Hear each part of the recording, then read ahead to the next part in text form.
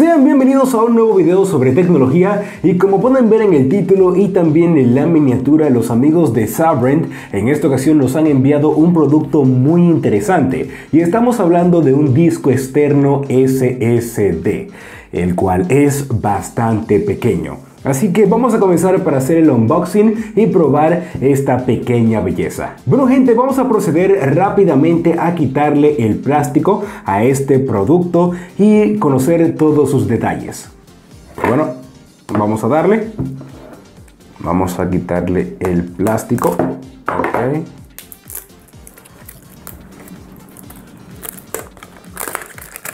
Ah. Ok, ya le quitamos el plástico y aquí vamos a poder encontrar esta envoltura de cartón.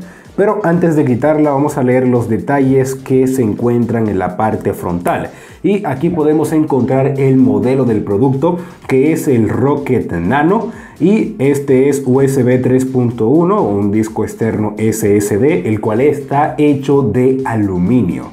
Y aquí dice que la capacidad es un terabyte como pueden ver aquí, un terabyte de almacenamiento y ya en la parte trasera podemos encontrar más detalles técnicos como por ejemplo que este cuenta con una velocidad de escritura y también de lectura de 1000 megabytes por segundo.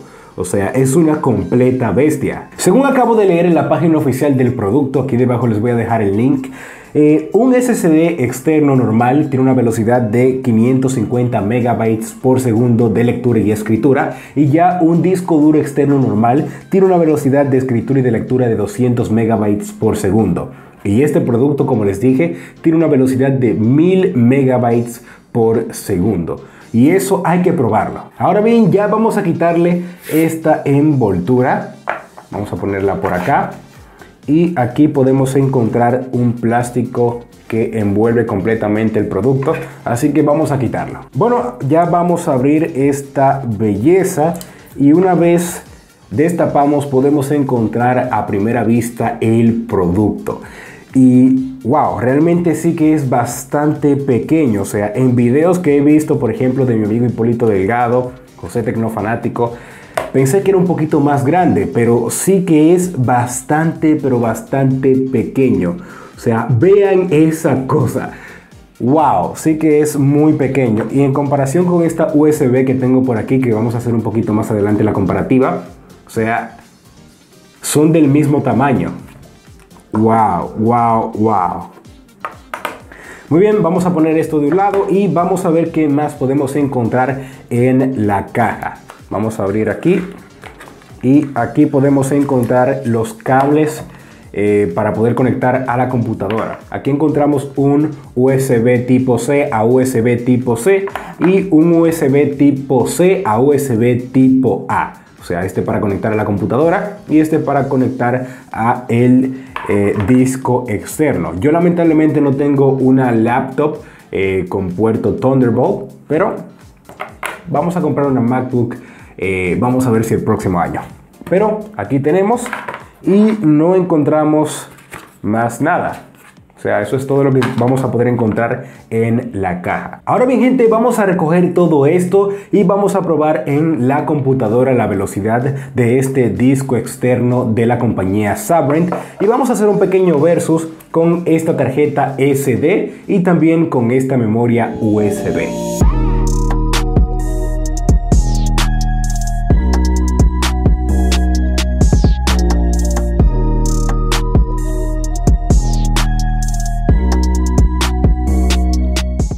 Ya he conectado las dos memorias, o sea la tarjeta SD y también la memoria USB y ya acabo de conectar el disco SSD de la compañía Sabrent. Aquí podemos ver, estoy grabando con un iPhone 6 esta pantalla y aquí podemos encontrar la memoria USB de 8 GB, aquí la tarjeta SD de 16 GB y aquí podemos encontrar el disco Rocket Nano de Sabrent eh, de 1 TB. Tenemos disponible 953 GB y como pueden ver aquí ya lo tengo conectado. todavía me sigue sorprendiendo lo pequeño que es. Entonces vamos a hacer una prueba con un video de 3 GB que tengo por aquí. Eh, uno de esos videos que grabo para el canal. Aquí pueden ver 3,05 GB. Vamos a pasarlo primero a la memoria USB. Aquí podemos ver Johan Martínez. Ok, vamos a ver la velocidad de escritura.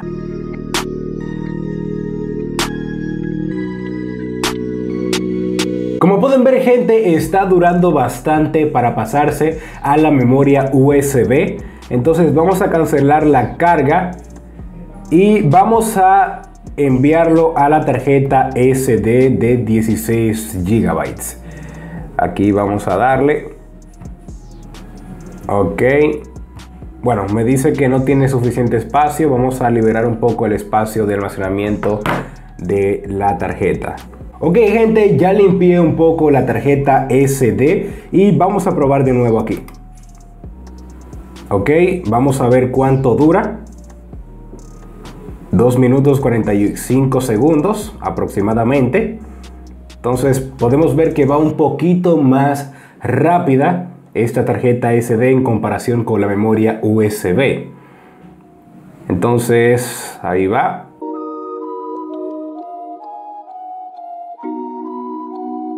Muy bien, creo que se está tardando un poquito. Eh, ya vimos que es más rápida que la memoria USB. Ahora bien, vamos a probar con el disco de Sabrent. Aquí vamos a darle y vamos a enviarlo al Rocket Nano. Ahí vamos a ver cuánto dura. Dice aproximadamente 2 minutos, ya va por un 7%. Vamos a ver, vamos a ver. O sea, va bastante rápido en comparación con la tarjeta SD.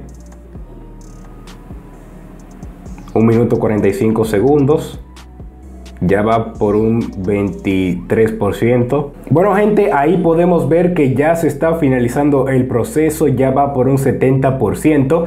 Y cabe resaltar que si mi computadora hubiese tenido puerto Thunderbolt, o sea, puerto Thunderbolt a USB tipo C, el proceso sería muchísimo más rápido. Pero lo estamos haciendo en esta ocasión de USB tipo A a USB tipo C y aún así lo está haciendo bastante rápido el proceso de pasar este video de 3,05 GB eh, a este disco externo SSD. Ahí pueden ver que ya va por un 91%, 92, 93 o sea, bastante rápido. Ahí ya completó el proceso de pasar el video. Bueno gente, como han podido ver en esta pequeña comparativa que hemos hecho entre este disco externo SSD de la compañía Sabrent, una memoria USB normal y una tarjeta SD, o sea, la diferencia es abismal. Me ha gustado bastante este producto ya que es bastante pequeño y muy rápido, como hemos podido ver, y lo recomiendo al 100%. A este lo vamos a poder encontrar en Amazon a un precio de 150 dólares.